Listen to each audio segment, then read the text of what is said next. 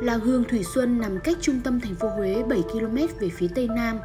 ẩn mình dưới chân đồi vọng cảnh bên dòng sông Hương hiền hòa. Hầu hết người dân trong làng đều làm nghề xe hương, nên mỗi buổi sớm mai cả làng như được ánh lên bởi sắc màu rực rỡ của những bó hương mà nhiều người ví như những bông hoa cùng mùi hương trầm thơm ngát tỏa ra khắp không gian. Huế được biết đến là một cái trung tâm tôn giáo tín ngưỡng và tâm linh. Cho nên những cái ngành nghề thủ công mà phục vụ cho nhu cầu tín ngưỡng tâm linh nó đặc biệt nở rộ ở vùng đất này.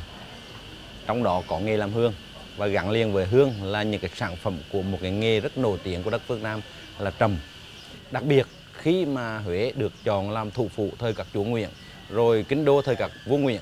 thì những cái điều đó nó lại càng đặc biệt quan trọng và nó trở thành một cái nhu cầu thường trực nó làm cho cái nghề làm hương ở cái đất kinh kỳ cái sự thân kính này nó được một cái đẳng cấp một cái đồ khắc khe một cái trình độ điêu luyện và những cái kỳ công mà nó không giống ở những nơi khác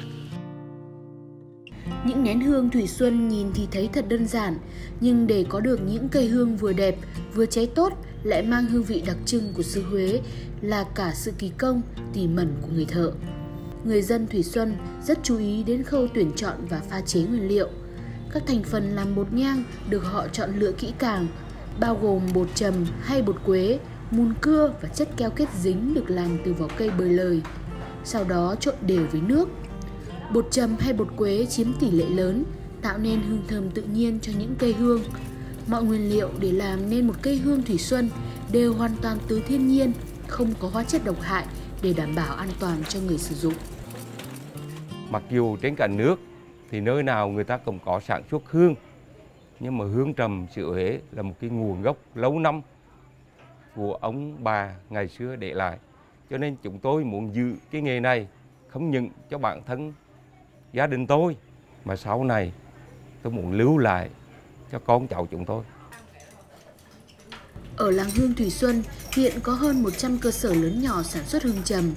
Đời chồng đi trước truyền nghề rồi đến đời con cháu cứ thế nối nghiệp cho đến ngày nay. Trước kia các hộ làm hương ở làng phần lớn đều làm thủ công, nhưng hiện nay máy móc đã hỗ trợ con người trong khá nhiều công đoạn. Việc xe hương được thực hiện bằng máy nên thời gian được rút ngắn đi rất nhiều, Tuy vậy, chất lượng của cây hương vẫn được đảm bảo về hình thức và độ cháy. Cái điều mà chúng tôi rất tấm đắc khi mà nói tới hương của Huế thì nó có một cái nguồn xuất phát từ cái phương châm sống, cái triết lý nhân sinh của con người nơi đây. Người ta rất là cống kỵ và người ta rất là tính sạch trầm thì người ta luôn luôn dành cho nó một cái thái độ rất là trân trọng. Gắn liền với đó thì chất lượng cực cao, họ vô cùng tính sạch Tôi sinh ra lớn lên từ trong một cái làng nghề truyền thống làm hương trầm. Những lúc tôi thắp những cái nén hương trầm này lên bàn thờ tổ tiên ông bà hay là tôi đốt những cái nụ trầm tháp trong phòng thì tôi thấy riêng tâm tôi rất là tình với những cái mùi hương nhẹ thoáng thoảng. Và từ đó à, chúng tôi thấy rằng cái nghề trầm hương là một cái nghề tâm linh. Và cái mùi hương trầm này nó làm cho chúng tôi nhẹ nhàng và thanh thản. Cho nên tôi vẫn tự hào rằng tôi đã làm được một cái nghề tâm linh truyền thống của xứ Huế thủ đô của cái nghề trầm hương lâu năm những nén hương sau khi xe xong được đem đi phơi nắng từ 2 đến 3 ngày. Người làm nghề hương nhang chỉ mong trời thương cho được nắng to, nắng càng to, hương càng mau khô và giữ được hương thơm lâu. Hương Thủy Xuân, đặc biệt là hương trầm, đã trở thành một nét đẹp văn hóa, một sản phẩm truyền thống mang linh hồn xứ Huế. Những bó hương sạch, thơm dịu nhẹ, phảng phất là cầu nối gắn kết giữa con người với thế giới tâm linh. Dùng hương hoa để cúng dường thì có thể nói là có từ thời rất xa xưa, trên 3.000 năm về trước, đất nước Ấn Độ cổ đã đề cập tới dùng cái hương để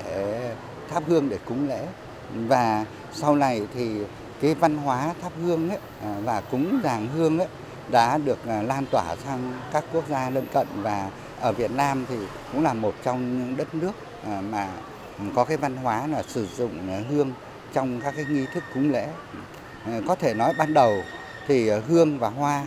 là được tượng trưng cho cái đẹp của thiên nhiên của vũ trụ và con người lấy cái đó để biểu thị cái lòng tôn kính, lòng thành kính của mình và dâng lên để cúng dường với những người mà mình tôn kính ờ, và sau nó trở thành một nghi thức nghi lễ như là cái biểu trưng để kết nối tâm linh giữa người trần với thế giới tâm linh với thần thánh với tổ tiên với ông bà cha mẹ là những người đã khuất Ngày nay, những người dân làng Thủy Xuân cũng nhanh nhạy trong việc thu hút khách du lịch bằng chính nghề truyền thống của mình. Đến với làng Hương Thủy Xuân, du khách không chỉ được xem cách xe hương truyền thống mà còn được tự mình trải nghiệm công việc xe hương đầy thú vị do chính những người dân nơi đây hướng dẫn. Đây là lần đầu tiên tôi đến Việt Nam và đến với Huế. Thật thú vị khi hôm nay được đến một làng nghề của địa phương và biết đến nghề thủ công này của đất nước các bạn, từ cách làm ra những cây hương cho đến mùi thoang thoảng nhẹ dịu của chúng đều rất lôi cuốn tôi. Có lẽ tôi sẽ mua một ít về làm kỷ niệm. Vẫn còn đây những lời du, vườn bay phẳng phất cho dù tháng năm. Tổ tiên một nén nhang trầm, nối dòng máu đỏ âm thầm thiết tha